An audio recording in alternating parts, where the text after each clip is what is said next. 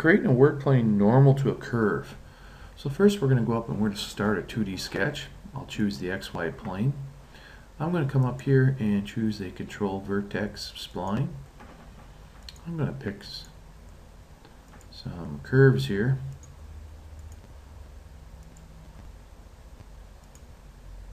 And I'm going to say OK. Now I have a spline in here.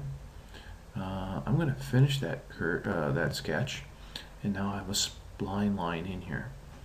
Now I want to create a work plane normal to the curve. So I can have a work plane that is perpendicular to the endpoints of these splines. So I'm going to go up to uh, plane, go down to normal to curve at point.